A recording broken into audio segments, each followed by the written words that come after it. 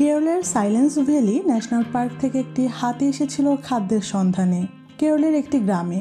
গ্রামবাসীরা হাতিটিকে একটি আনারস খেতে দেয়। এই অবলা প্রাণীটি সেই আনারস খেয়েও ফেলল।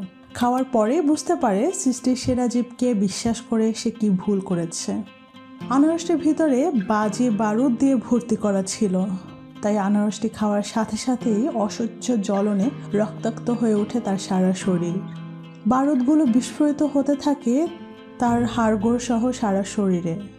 ফরেস্ট অফিসার মোহন যখন সংবাদ মাধ্যমকে বলেন, ডাক্তার যখন হাতিটির ময়নাতদন্ত করেন, তখন তিনি জানান, পনেরো বছর বয়সে হাতিটি ছয় মাসের অন্তঃসত্ত্বা ছিল। কাপা গলায় আরও জানান যে হাতিটির মধ্যে একটা সিক্স সেন্স কাজ করছিল। সে জানতো তার মৃত্যু আসন্ন। সুরসহ গোটা শরীর রক্তময়। যন্ত্রণায় জ্বলছিল সারা দেহ।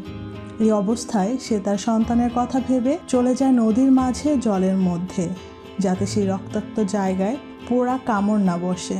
যতক্ষণ প্রাণ ছিল, সে চেষ্টা করছিল যাতে তার সন্তানের কষ্ট একটু হলেও যেন কম হয়। আর শেষ অবধি সে ওই মাঝ নদীতেই প্রাণ ত্যাগ করে। হাতিটি অসহ্য যন্ত্রণা নিয়ে সারা গ্রাম ছুটাছুটি করেছে। কোথাও খাবার পায়নি। মানুষ তাকে মৃত্যুর মুখে ঠেলে দিলেও সে মানুষের কোনো ক্ষতি করেনি। গ্রামের কারও কোনো ক্ষতি করেনি। মাছ নদীতে গিয়ে চুপ করে দাঁড়িয়েছিল। কোনো চেষ্টা করেও তাকে সেখান থেকে সরানো যায়নি।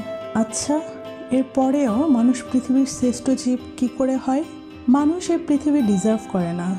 যে অন্যায়, যে অবিচার ক্রমশ মানুষ করে যাচ্ছে, তার শাস্তি অবশ্যই পাবে। প্রকৃতি কারও ঋণ রাখে না। সৃষ্টিকর্তা সব সুদে আসলে ফেরত দিতে দিবে।